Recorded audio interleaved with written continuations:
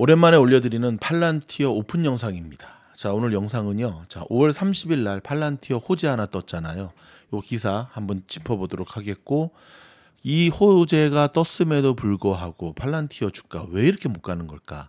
그 원인을 정확하게 분석해 드리도록 하겠습니다. 자, 먼저 지금 보고 계시는 화면이 팔란티어가 4억 8천만 달러의 자, 방어 계획, 계약을 체결했다는 소식이거든요. 자, 눈에 띄는 게 있죠. AI 시스템, 프로포타입, AI 시스템.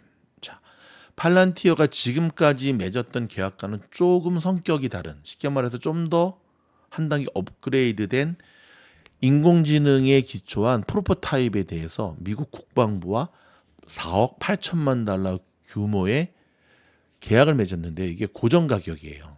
되게 좋은 거죠. 자, 이 계약의 완료는요. 2029년 앞으로 5년 5월 28일로 예상 되고 있답니다. 여러분의 캘린더 2029년 5월 28일 날 자, 체크해 두세요.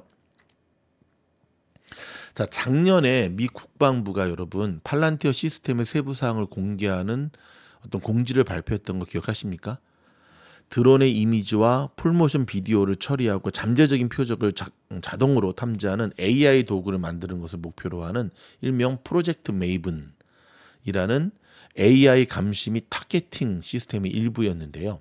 자, 미국 국방부는 작년 공지에서 팔란티어의 이 메이븐 스마트 시스템이 결국 클라우드 플랫폼을 사용해서 개발 시연되고 있다라고 밝혔고요.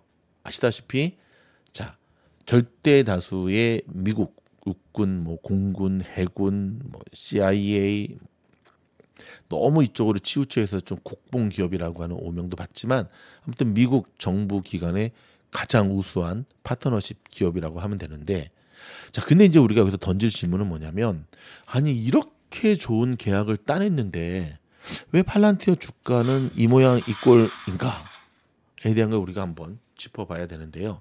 제 게시판에서 한번 공지해드리긴 했지만, 자 지금 시장에서 팔란티어의 이 분위기가 상당히 안 좋습니다. 자 buy도 아니고 자 hold로 일단 잡혀져 있거든요. hold.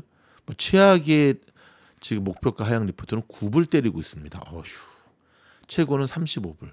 근데 average는 22.11. 좀 비슷하죠 지금. 자, 일단 좋은 거는 바로 이 부분이에요, 여러분. 팔란티어의 cash and flow를 보면 cash flow 자, 여기 보십시오. 3배 가까이 늘었거든요. 221.34에서 697.07. 그런데 왜 못 갈까요? 맞습니다. 여러분이 예상하다시피 바로 이겁니다. 이게 뭔지 아시죠? 팔란티어 내부자들의 팔란티어 주식 파는 뭐 말단 직원이 파는 것도 아니에요. 어? 생커, 쉐이먼, 카프, 음? 스테픈 코헨 좀, 좀 심하다 싶을 정도로 좀 팔아대죠. 자, 우리가 팔란티어를 조금 있는 그대로 바라볼 필요가 있는데요. 우리가 그동안 지난 한 달 동안 계속해서 우리가 공부했던 게 뭐죠? 호팔 악사. 호재가 나와도 호재가 나와도 저항선을 뚫지 못하면 팔아야 되고 악재가 나와도 지지가 되거나 올라가면 사야 된다. 자, 그 관점에서 팔란티어를 적용해 보면 뭐가 나오죠? 호팔이죠, 호팔. 호재가 나왔는데 보세요. 주가가 못 가잖아요, 지금. 요 50일이거든요, 요게. 요 50일에 딱 맞고 꺾이잖아요. 50일이 추세선인데 추세선도 벌써 4월 중순부터 꺾이고 있는 게 보이거든요. 물론 물론 악사도 해당이 될 수 있습니다. 뭐냐면 이 강력한 지지선, 이 지지선을 지켜주고 있다는 거죠. 벌써 one, two, three 뚫릴 뻔했던 것이 세 번이나 있었는데 가장 최근에 4월부터 시작해서 계속 지지가 되고 있다는 건 굉장히 좋은 거거든요. 자 그렇다면 제가 얼마 전에 테슬라를 보여드렸듯이 팔란티어도 이제는 곧 결전의 날이 다가옵니다. 어떤 결전의 날이냐면 이런 결전의 날이죠. 이거와 이거. 이 일명 지몰이법이라고 하는 거거든요.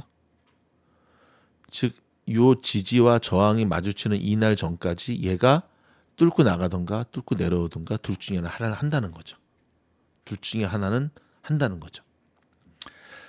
내부자들의 이 매도가 멈추지 않으면 지금까지 팔란티어의 모습도 그랬지만 시장으로부터 버림받게 되거든요. 별로 안 좋은 거죠.